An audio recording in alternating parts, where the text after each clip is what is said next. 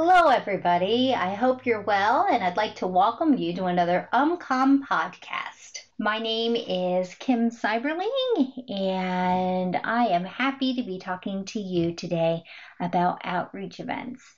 If you looked at the prior podcasts that I have done, you'll see that outreach events is a core component in getting people to come to your church for the first time. Now, I want to preface outreach events by saying they aren't uh, magic bullets. There's no substitute for true hospitality, true relationships with Jesus Christ, and true community. But outreach events are a way to help the community around you know that those things are available to them at your church. So, the first question I want to answer is what exactly is an outreach event? The purpose of an outreach event is to make the church known in the community, not to get people immediately in the pews. It takes time to build relationships. Eventually, they will come to the church, but you have to be patient.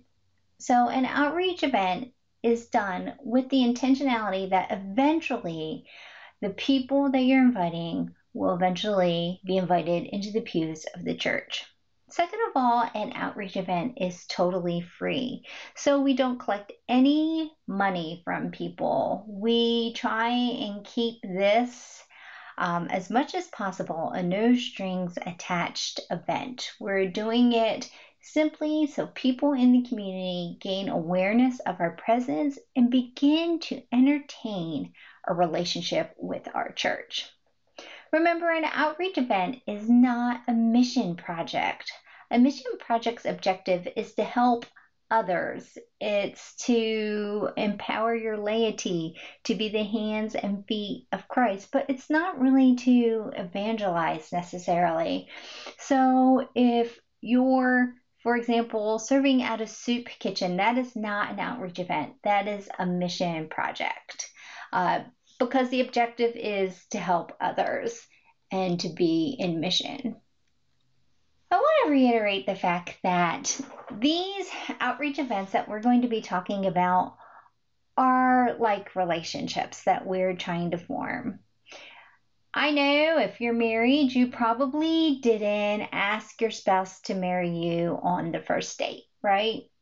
And that's what we do with a lot of outreach events. We think, we're going to date the community, and after the first date, we're going to ask them to come to church and join our church.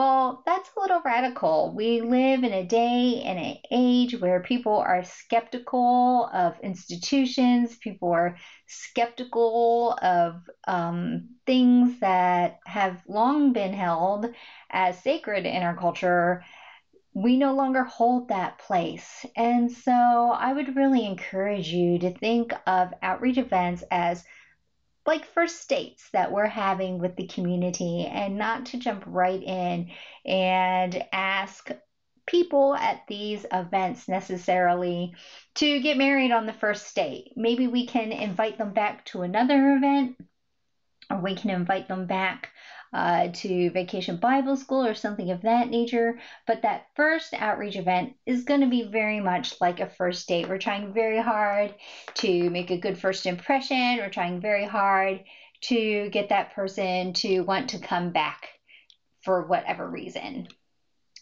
So, when we talk about outreach events, I want to emphasize that not every outreach event is appropriate for every church and every community.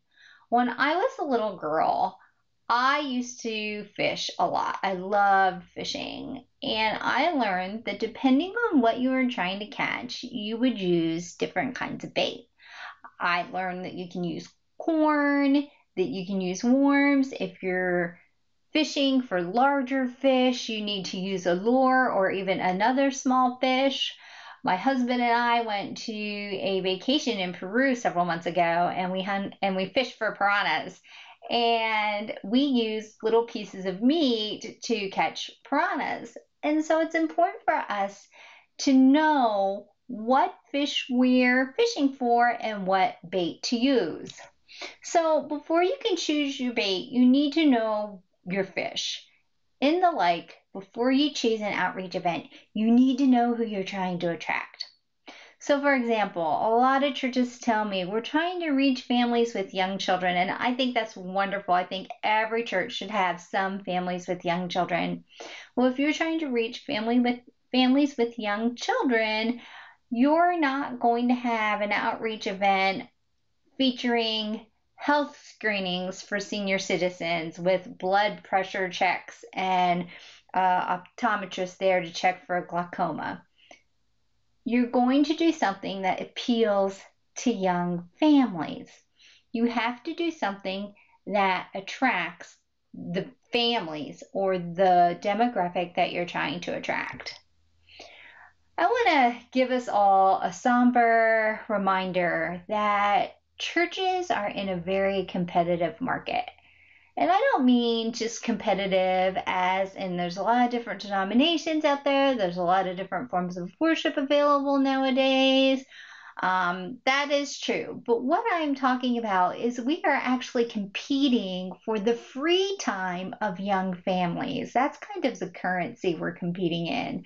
And when you talk about what families can do with their free time, they have a myriad of options. And so churches really need to think of outreach events as in that competitive space of competing for families' free time. And if you think about your free time as a very, very precious commodity, you're not just going to spend that willy nilly. For many of us, our time is even more important than our financial resources.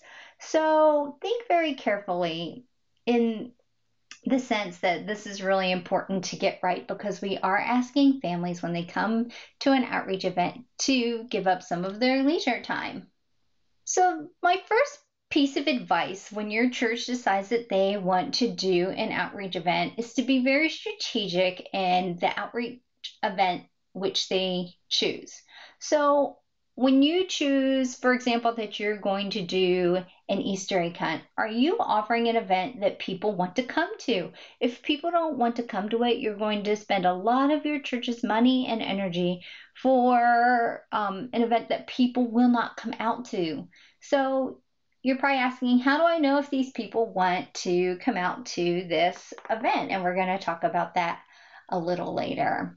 So you have to ask who I'm inviting and why. In other words, who are my fish and what is the bait? And then does it meet the, a felt need? The important word here is felt.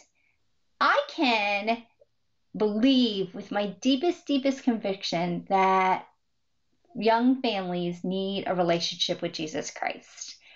And that is the need that I'm trying to meet. However, if young families don't feel like they need relationship with Jesus Christ, that's not going to attract them. Even though it may be true, they have to feel like that is a need. And then the final thing is do your homework. You have to ask the people around you and the people already in that demographic if it's something that they would come to. I always like to just ask around to young families, ask what they're doing, ask what toys their kids are playing with, ask what their kids are involved with, what they're interested in. Do a Google search and say what what toys are young kids playing with or what movies are young kids going to see. Um, and that sometimes can lead us in the right direction or give us some ideas about what might attract that demographic. You need to ask yourself is it something to be proud of? Is it fun? Is it attractive? I'm just going to be really upfront with the listeners today and say that I have worked with many, many churches. I have been to many, many church outreach events. And sometimes I go to outreach events and they're not very good. If I were the pastor of that church, I would not be proud of that event because it's poorly done, it's poorly conceived, the attendance is poor. And when you have an event like that, it just makes everybody a little grouchy. And so I feel like when churches go to plan these outreach events, you have to ask yourself is this something that I would want the whole world to know that I'm doing? All right. Is this something that I um, would want on the media? Is this something that I would want my pastor friends to know about? And even then, be very, very careful. Is this something that is competitive again in the secular market, the non church market? Is your event fun and attractive? Everything you do around this event should be fun and attractive. No one's going to give up their time to do something that's not fun on their day off. And so make sure that whatever you're offering has an element of fun to it. Am I making it easy? When I say am I making it easy, I'm talking about is this event easy to come to? Is it in an accessible location? Are people able to get to it easily? Is it something that I make easy, make it for my members easy to invite to? In other words, how are my friends, how are my church members going to invite others to this event? You need to have a clear strategy and you need to have a clear um, method for inviting people to this event. If it's going to be my members are going to invite, you need to give them a tool, some kind of flyer, some kind of Facebook page, something to share on social media, something to share in an email, okay? Finally, you need to advertise. Now, I know when I say you need to advertise, a lot of you are seeing like dollar signs slip out from between your fingers, and advertising doesn't necessarily, in this day and age, have to be as expensive as it's been mm. in the past. When I talk about advertising, I'm going to make it clear again, it should be, yes, attractive. That's right. We in the church are infamous for being cheap, running things off black and white. And the reality of it is, at one point in time, that was fine. But in this day and age, the world is a color age. So your advertisements need to be in full color. Color is not that expensive. If you've never done a flyer in color or printed in color, please check it out. It is now competitively priced and it isn't expensive to do full color posters. You're going to hang those out in the community. Uh, and utilize your social media. What, however you decide you're going to advertise for this event, make sure that your advertisement is attractive, that it is neat, Make sure that it is clear. In other words, you don't want to put too many words on that poster um, because people are going to be walking by that poster and they're not going to stop and read the whole thing. So please be sure that you keep your text on that poster relatively brief. You don't need to put every little detail on there. Just get the essence of the event on the poster and any essential information that that person would need and because we are keeping it fun, attractive, and easy, there shouldn't be that much for that poster. We all have to stop sometimes and really ask ourselves, what am I doing? Is this the right thing to do? These outreach events can be very expensive. These outreach events can use a lot of your lay people's energy. So really, I really, really encourage pastors and lay people before they get their heart set on an outreach event, before they begin advertising, before they begin planning, to ask people, is this something you would take your family to? Is this something that you think would be worth getting out of bed on a Saturday afternoon for? Um, we know we've all been there how precious just those lazy weekend days are. And so we really, really have to be checking with our target demographic to make sure that they're what we're offering is something that people want to come to. When you have an outreach event, and I touched on this briefly before, we are not asking people to marry us on the first date. We're inviting them into a relationship with our church. And we've all been in relationships before, and we know that relationships can be risk taking, um, relationships can be um, scary. And so, yeah, um, make sure there's something to invite them back to. You, I'm telling you, do not make that thing you invite them back to church unless it's Christmas and Easter. Christmas and Easter are times when people are naturally open to religious things, they're open to the church. And so, outreach events that precede, immediately precede Christmas and Easter, you're allowed to invite them back to church because those people, in, in some capacity, uh, it's culturally acceptable to invite people to church on Christmas and Easter, where it is not always acceptable to invite people to church for the rest of the year. So we Christians kind of get a free pass on Christmas and Easter, and I really encourage your church to look at those events that you're having before Christmas, to look at those events that you're having before Easter, and really kick those into full, full gear um, and get people um, to invite back. Now, you're going to be asking, how do I invite people back? Do I give them a flyer? What do I do? My recommendation is this, and some churches are comfortable with this and some are not. Uh, just know that this is how the churches that I have worked with have been successful. I always have some sort of free giveaway, and on that free giveaway, you put the, the, the person's name, their cell phone number, and their email address.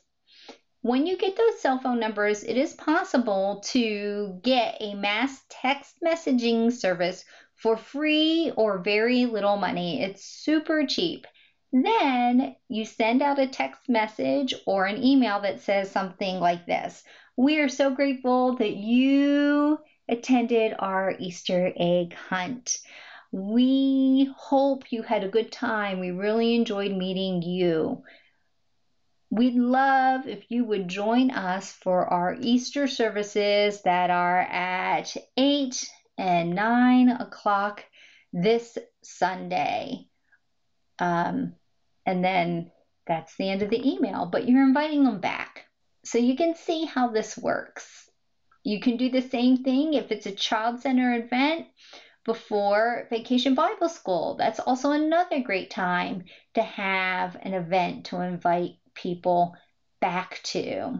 I recommend, especially for small sized churches, look at the things that you're already doing, the things that are already an integral part of your life, and where new people are already coming in, and then have that big outreach event before that. That way, you're not reinventing the wheel. You're not making a new event where you have to find more volunteers and more resources. So, look at what your church is already doing and seeing where you can strategically place those outreach events around what you're already doing. I want to remind us of all why we have outreach events. It's not because we necessarily need to have a lot of new people in our pews. It's not because we want to be successful churches or successful pastors. It's because we believe that a relationship with Jesus Christ is the most important relationship a person can have. And we believe that there are people in our communities who don't know Jesus and who need that relationship or they need a church to help strengthen that relationship. And so I would just remind you as you look at all the work that these outreach events are, all the follow up that's required from these outreach events, not to be discouraged because really there is no better mission than to bring people to Jesus. I know personally, I don't know where my life would be without Jesus. And I really want to see everyone in my community have a rich and full life with Jesus. And so that really motivates me when it comes to these outreach events.